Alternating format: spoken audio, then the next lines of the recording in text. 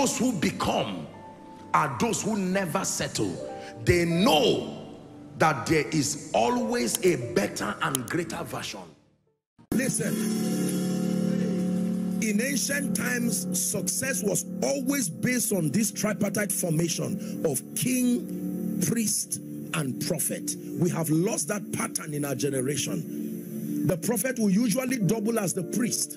You see kings were helpless unless with the advantage of the prophetic. If they were hedonistic kings, they would surround themselves with necromancers and diviners. They knew that there had to be an advantage of the realm of the spirit.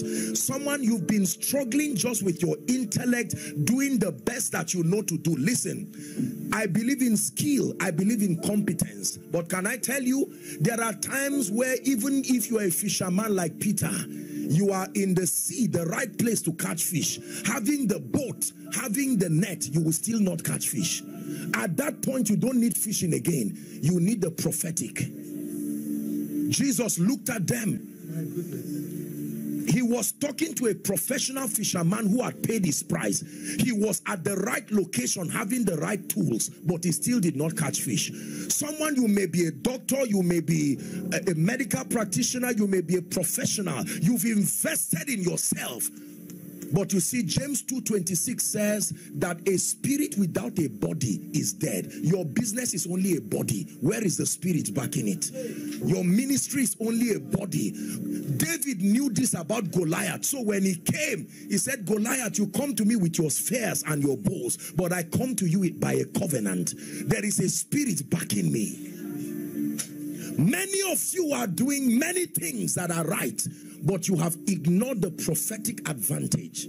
Now, the prophetic can be abused, but within the limit of scripture, it works wonders. Can I tell you, it is not every anointed prophet that blesses you. Prophets are sent to people. The Bible says there were many widows in Zarephath, but to none was Elijah sent, meaning he passed other widows and greeted them because he had nothing to offer to them. Hey.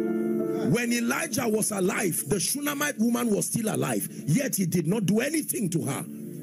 But when he met the woman in Zarephath, that was the end of her story. I believe that God has sent us here by faith because this is a kairos moment. I am a product of the prophetic speakings of fathers. I know what prophecy can do.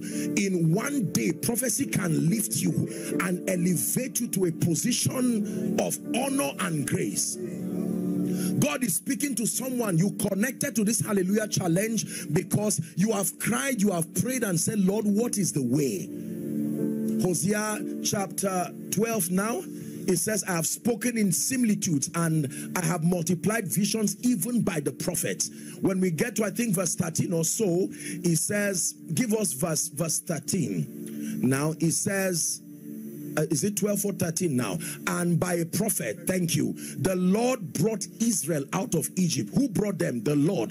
But the physical agent was by a prophet. You see, let me tell you how it works in the spirit. The Bible says the spirit and the bride say, Come. It is not the spirit alone that says come.